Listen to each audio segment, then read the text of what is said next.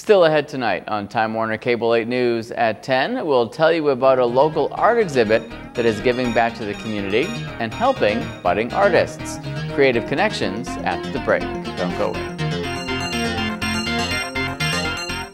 In its second summer showing, the Adams Art Gallery hosts an exhibit of works by artists with disabilities from the Resource Center. It's not just an exhibit, though, as it also raises money for a good cause and will help budding artists.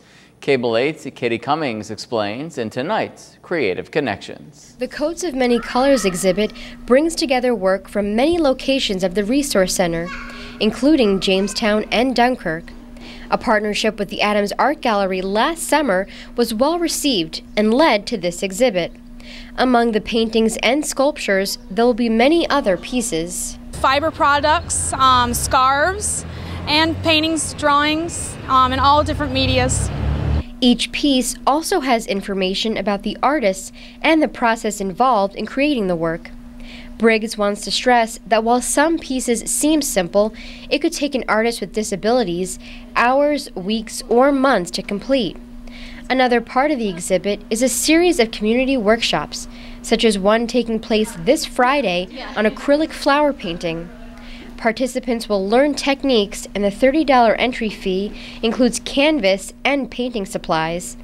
The final workshop takes place August 12th. But we're also going to have a photography walk. Um, Suzette Paduano is actually going to be coming in um, and taking a group to Point Gratiot. There's going to be two other photographers, myself um, and Jen Price, which is a local Jamestown photographer. Um, we're going to be walking around Point Gratiot, um, showing people how to use their cameras, um, how to do composition, just to have that one-on-one -on -one time with an artist uh, to really get some great training in. lighting, different things that are sometimes you can't find anybody to help you figure that out. So we're going to be uh, getting those together as well.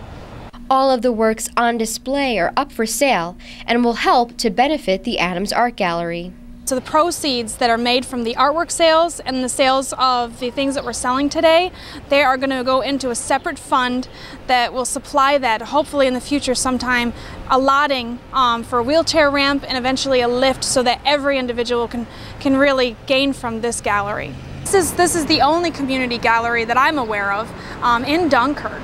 Um, and it has not been able to be utilized ever by individuals with disabilities. And that's something that is a long-term goal. We really want to see that happen. And if we have an account of money, it's easier to get grants and get the funding to show, yes, we've done the work, we've done the footwork, we've got a chunk of money, help us with the rest. Um, so hopefully we'll be able to eventually make that dream happen. If you would like to register for the workshops, you can visit the gallery's website or call the Resource Center. Coats of Many Colors runs till August 31st. With your creative connections, I'm Katie Cummings.